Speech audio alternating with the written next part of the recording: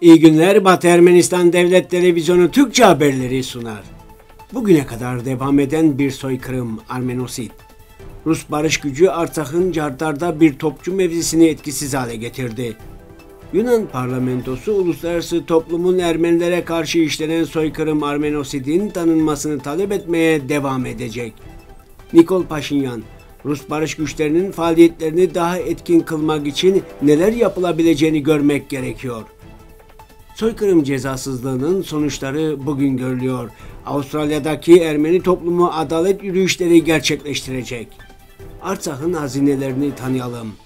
Handa Bert Ezidi topluluğu Melek Taus yeni yılını kutluyor. Dersimli Ermeni Mihran Pırgiç'in kitabının tanıtımı yapılacak. Birkaç yüzyıl geçse de asla unutulmayacak ve unutulmamasına izin verilmeyecek olanların en önemlilerinden biridir Ermenilere karşı işlenen soykırım Armenosit. Kimse geçmişte tarihte kalan bir mesele olarak bakıp günün sorulması gereken hesabı olarak görmemezlik edemez, etmemelidir. Yarattığı yıkıcı sorunlar, yaşattığı acılar halen dün gibi tazedir hafıza katillerinin tüm inkar ve yok sayma çabalarına karşın soykırım günümüze dek süren bir hakikat olarak Türk devletinin kabarık suç dosyası içinde durmaktadır. 20. yüzyılın ilk büyük soykırımı olan Ermeni kırımı Armenosit aslında kadın ve çocuk kırımıdır. Uygarlık ve kültürel kırımdır. Toprakların ve zihinlerin çölleştirilmesidir bir halkın binlerce yıl yaşadığı topraklardan zorla koparılarak toptan ortadan kaldırılmasıdır. Talat'tan Mustafa Kemal'e ve oradan Recep Tayyip Erdoğan'a uzanan soykırımcı katillerin homojen bir Türk ulusu yaratma girişiminin önünde en büyük engel Batı Ermenistan ve Kürdistan topraklarında yaşayan milyonlarca özgür Kürdün varlığıdır. Rus Barışı Koruma Birliklerinin Telegram kanalının bildirdiğine göre Rus Barış Gücü Birliği Artsakh Cumhuriyeti'ndeki Cardar köyü yakınlarındaki bir topçu mevzisini mühendislik çalışmaları sırasında etkisiz hale getirdi. Toplamda bu pozisyonda 252 milimetrelik top ve 60 mermi imha edildi. Ermenistan Cumhuriyeti'nin Yunanistan Büyükelçisi Dikran Mıgırdiçyan, Yunanistan'ın Kalamata kentini ziyaret etti. Kalamata Belediye Başkanı Atanasios Vasiliopoulos etkinlikte bir karşılama konuşması yaptı. Konuşmasında 107 yıl önce Ermenilere yönelik soykırım Armenosid'in uluslararası toplumun odak noktasında olmaya devam ettiğini belirterek masum kurbanların anılmasının önemine vurgu yaptı. Yunanistan Ermeni Başepiskoposu Geham Haçeryan da yaptığı konuşmada 107 yıl önce yaşanan soykırım Armenosid'in ardından Pontus Rumları ve Süryanilerin soykırımlarının da devam ettiğini vurguladı. Yunan milletvekili Perikles Mandas karşılama konuşmasında Yunan parlamentosunun insanlığın benzer vahşetlerle karşılaşmaması için uluslararası toplumdan Ermenilere karşı işlenen soykırım Armenosid'in tanınmasını talep etmeye devam edeceğini kaydetti. Ancak Batı Ermenistan soykırımı önleyecek olanın tanıma değil, tazminat olduğunu çok iyi biliyor. Ermenistan Cumhuriyeti Başbakanı Nikol Paşinyan, Rusya Federasyonu Devlet Başkanı Vladimir Putin ile yaptığı görüşmede Artsak'ta Rus barış güçlerinin faaliyetlerini daha etkin kılmak için neler yapılabileceğini görmemiz gerekiyor ifadesinde bulundu. Başbakan Paşinyan genel olarak Rus barış güçlerinin Artsak'taki faaliyetlerinin güvenliği sağladığı vurgulanmalıdır. Ancak barışı koruma görevlilerinin faaliyetlerini daha etkin kılmak için neler yapılabileceğini görmeliyiz. Ve elbette bölgemizde olası bir siyasi mesele de Artsakh meselesinin çözümüdür. Bugün bunun hakkında konuşacağımızdan eminim dedi. Doğu Ermenistan yine de Ermeni pasaportlarına sahip ve dolayısıyla Ermenistan Cumhuriyeti vatandaşları olan Artsak'taki Ermenilerin güvenliğini garanti etme yükümlülüğünden vazgeçtiği için yanıt yine de Batı Ermenistan'dan gelebilir. Ermenistan Cumhuriyeti vatandaşlarının korunması diğerlerinin yanı sıra Doğu Ermenistan Cumhuriyeti Anayasası'nın 4. 11. ve 16. maddeleriyle bağlantılıdır.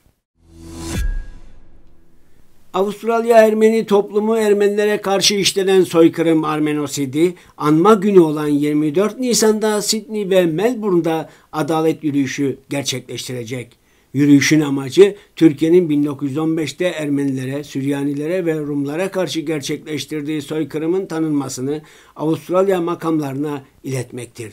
Nasıl 30'dan fazla ülke, uluslararası kuruluş ve çeşitli Avustralya devletleri Ermenilere karşı gerçekleştirilen soykırım Armenosidi tanıdıysa, Avustralya hükümeti de aynı şeyi yapmalıdır.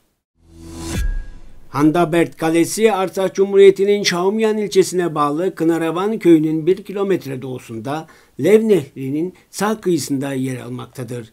Kale deniz seviyesinden 1665 metre yükseklikte geçilmez bir ormanlık dağın tepesinde yer almaktadır. Kalenin her tarafı sarp kayalıklarla çevrilidir. Dağın doğal bariyerlerinin tepesinde 8 metre yüksekliğe ve 1.3 metre kalınlığa ulaşan güçlü surlar yükselir. Handabert hakkında ilk kez 854 yılında bahsedildi.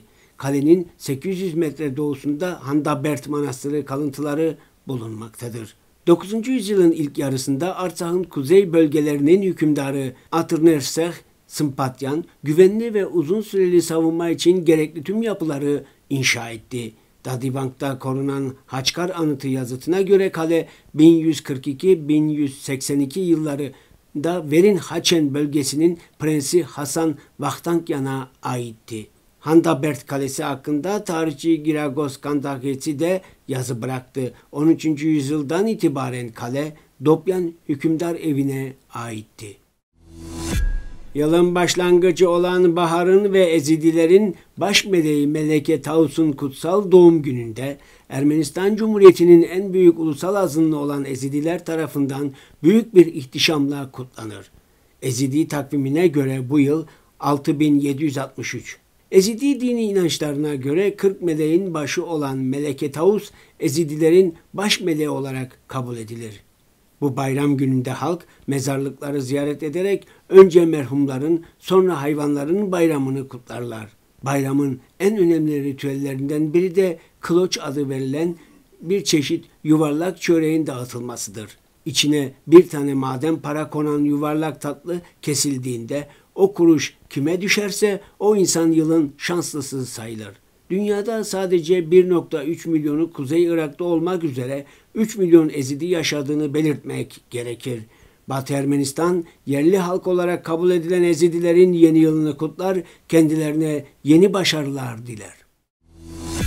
Orta Doğu Araştırmaları Merkezi Dersim Ermenilerinin organizatörü, aktivist, hatip, yayıncı Mihran Pırgiç tarafından yazılan ve Dersim Ermenilerinin öze dönüş hikayesini anlatan Ermenice Türkçe iki dilli Varlığımızın İzleri kitabının ana vatandaki tanıtım etkinliği 22 Nisan 2022 tarihinde saat 18'de Yerevan Tekean Kültür Merkezi salonunda yapılacaktır. Bugün için bu kadarını gördük. Şimdi size Norayr Zamharyan tarafından icra edilen Ermeni halk şarkısı Hovva Ganç adlı eseri sunuyoruz.